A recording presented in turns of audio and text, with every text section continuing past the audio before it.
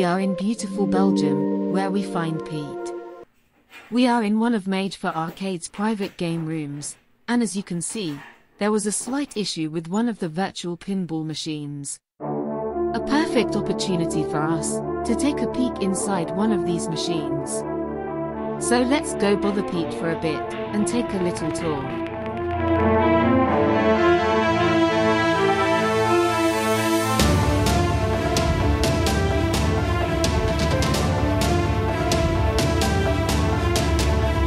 While Pete is putting the micro switch back onto the arcade button housing, we can take the opportunity to look around a bit inside the virtual pinball machine.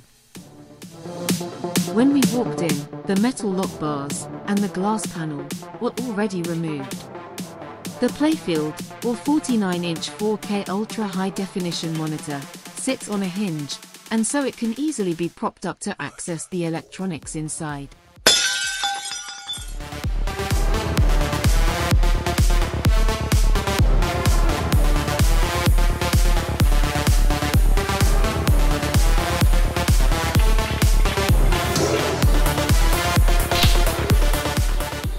First up is the analog to digital Williams style plunger. This mechanical plunger converts the pulling force into digital signals, so we can accurately control the force on our skill shots. A gyroscopic sensor is also included in the electronics. This sensor can detect lateral movement. When you nudge or push the cabinet, the digital ball will move accordingly so you can influence the gameplay.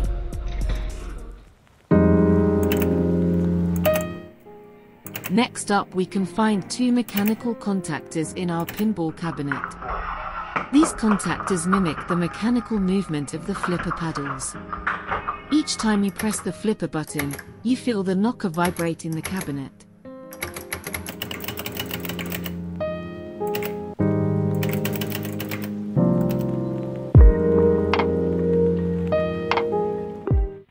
Force feedback components are controlled by this universal KL25Z input-output board.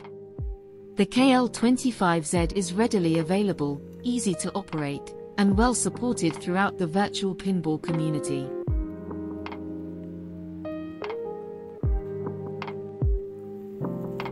Digging deeper into the pinball machine, we find eight powerful solenoid valves. These knockers deliver fierceful blows to the cabinet when bumpers or pinball mushrooms are hit on the playfield. Because of the tactical placement, you can feel the ball action in the exact place where it happens.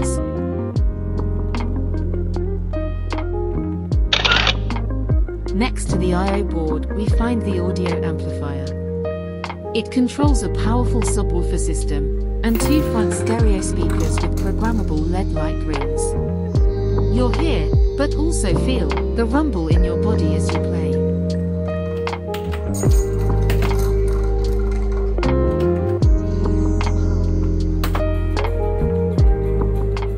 Underneath the speakers we find a programmable LED matrix board. The LED lights are game controlled, and their patterns and colors vary per pinball game and per playfield.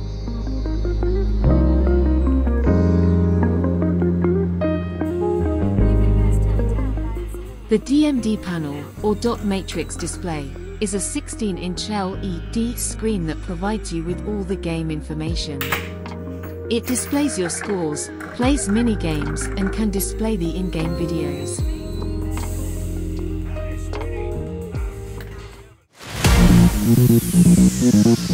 Going back inside, we find the rumble or vibrator motor. It sits left in the cabinet in its own protective housing. When you score a bonus in a pinball game, the motor can vibrate like your phone does, or it can shake like a faulty washing machine. In order to control its power, we can adjust the strength using the potentiometer inside the coin door.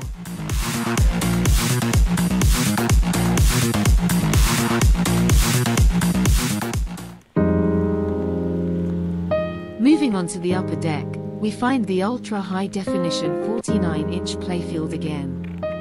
Its images are crystal clear, smooth, and can switch ultra fast for high impact action gameplay. The main playfield settings can be adjusted in the software, or can be controlled using the menu buttons inside the pinball cabinet.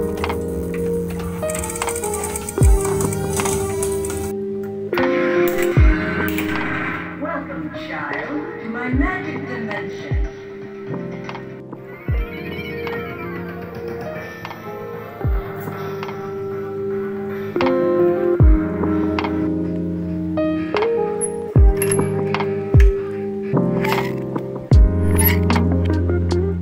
Oh dear. I guess it is time. While there is so much more to show you here, I do see Pete coming back to close up the machine again. I promise you I will show you all the other components and some hidden secrets in another video, so please subscribe to my channel and like this video. Until we meet again, I wish you all the best.